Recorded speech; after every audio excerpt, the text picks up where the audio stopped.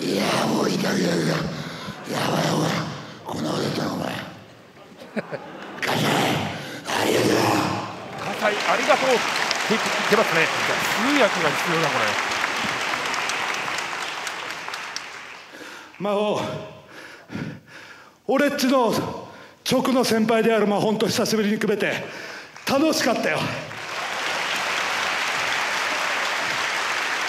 でもよ魔法さんよ俺っちには感傷に浸るも時間もなけりゃ、うん、ノスタルジックになってる暇はねえんだ。俺たちはまだ現在進行形のレスラーだろう。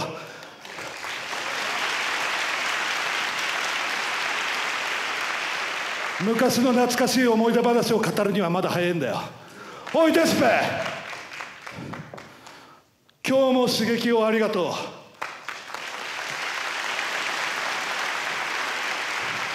しかしだ俺っちはやおもう単なる刺激じゃ満足しない体になっちまったようだ。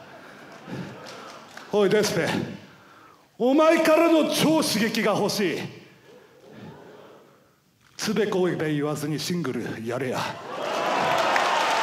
これを受け取ったら OK とみなす。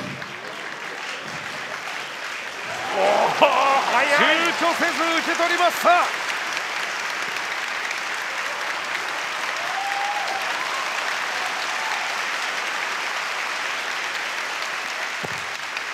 こんなかっこいいことされた後に何喋ったって俺はチープに見えちまうから何も喋れませんよ。でも今日いただいたこの刺激を持って俺はスーパージュニア優勝します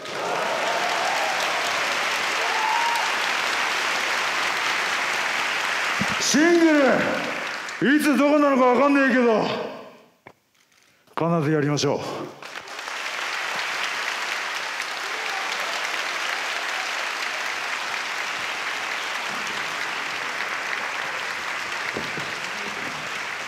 本間さんありがとうございました。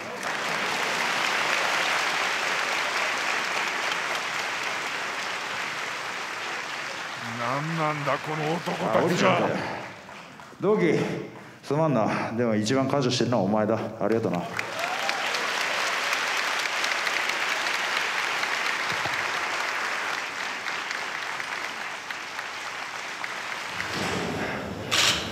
最高。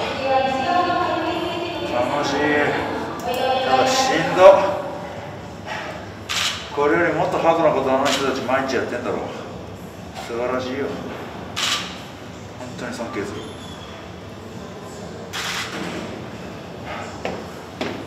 でも俺はやっぱり憧れだけじゃねそこまで行きたいです。毎日デスマッチがしたいとかそういうことじゃない。俺にはそんな言い方悪いかもしれないけどそんなこと言わんでいい本当だよ。あの人たち腹座りすぎすごいよ。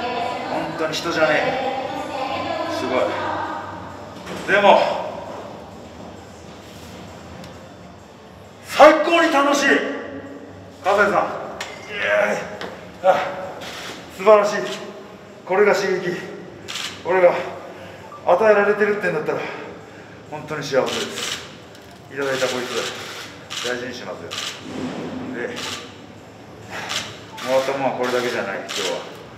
刺激しびれるような極上の刺激だ。スーパージュニア俺の体格に立つやつ。てめえら覚悟しとけよ。お前だって同じブロックなんだぜ。えーまあ今日みたいなことしたらすぐ俺反則負けになっちゃうから。今日スーパージュニア絶対いねえけどよ。それだけの根性覚悟いろんなもの持って俺はリングに上がるスーパージュニア優勝するぜ。その後関西さん！約束通りシングルお願いします。いやいやいやいや2年ぶりかおい。デスペちゃんよ。うんデスペ氏よお2年ぶりに当たれてよ。やっぱお前は刺激的な男だよ。うん。うん新日本プロレス今の新日本プロレスにあれだけできるやつがどこにいるんだ。うん。まあ隣の先輩は置いといてあいつぐらいしかいねえだろう。デスペ氏俺っちはよ言った通りもう普通の刺激じゃ満足しねえ体になっちまったようだ、うん、今日俺っちからのプロポーズ受けてくれて非常に感謝してるよ。一騎打ちどこでもいい。フリーダムズでもいいし新日本プロレスでもいいし。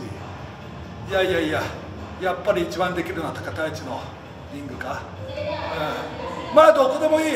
どこのリングであろう。葛西潤は葛西潤でありデスペラートはデスペラートである、うん、一騎打ちタイマー楽しみにしてるぜ。だからスーパージュニア変なやつに負けて優勝逃すんじゃねえぞ。いやー懐かしいな。懐かしいって言ってるわけじゃねえんだよ。使えねえな。俺はこっからこっから早いんだよ。